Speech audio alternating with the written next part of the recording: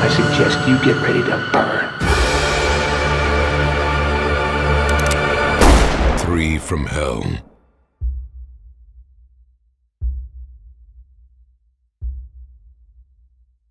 Hi guys, here's today's daily fact. Many directors are willing to go to any length to make their horror movies more realistic. But for world famous The Blair Witch Project, everyday cast members had to find hidden, vague notes for the story and not reveal them to the other members of cast, then improvising most of their dialogue.